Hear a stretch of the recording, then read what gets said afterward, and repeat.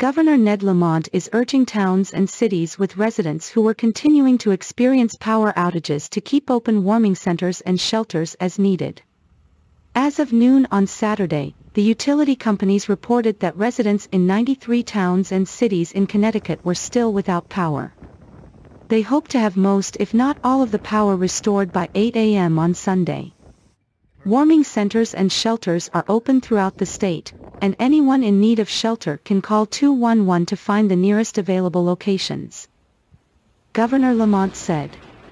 As for mass transit, Governor Hochul said there were some stoppages on the trains, delays at the airport, but all trains, subways, and airports remain open and are functioning, which is quite miraculous. Atlantic County also had a fair amount of flooding issues on Friday.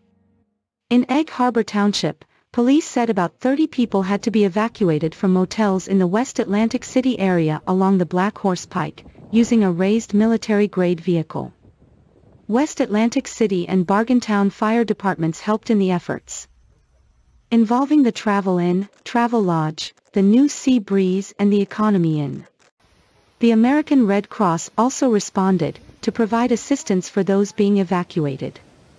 Two abandoned vehicles stuck in the floodwaters along the Black Horse Pike were towed to the Egg Harbor Township impound lot. No injuries were reported in that situation. By late Friday morning, floodwaters had begun to recede but the Black Horse Pike remained closed in both directions between Athens Avenue and Bayport Drive. Repeated flooding was expected Friday night, with the next high tide cresting around 8.15 p.m., police said. Severe winter weather descending on much of the country early Friday rolled into New Jersey in the form of heavy rains and strong winds, leaving flood-prone areas underwater. Hoboken was dealing with high water conditions around 9 a.m., which prompted NJ Transit train delays, according to a tweet by the transit agency.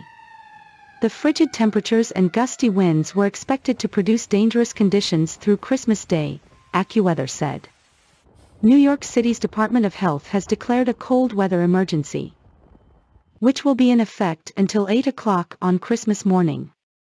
Governor Kathy Hochul toured the major flooded areas such as Howard Beach and the Rockaways. Much of the damage has been cleaned up.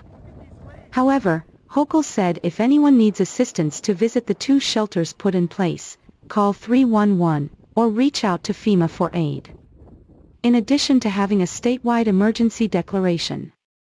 I'll be asking the federal government for a declaration of emergency that allows us to seek reimbursements for the extraordinary expenses of all the overtime. And the fact that we've brought in mutual aid from other parts of the state, she said. Howard Beach is one of many communities cleaning up from coastal flooding and residents will be receiving help if they venture to PS 207, just one of two service centers open this weekend, the cleanup process started early Saturday morning for many locals. The storm surge caused flooding on Friday that damaged homes and cars. Many residents abandoned their cars because of significant damage. Others said their basements had several inches of water. Seawall pilings also floated around parts of Howard Beach. Howard Beach residents say they haven't seen flooding this bad since Hurricane Sandy. Connecticut was hit hard with power outages during the storm. More than 100,000 outages were reported.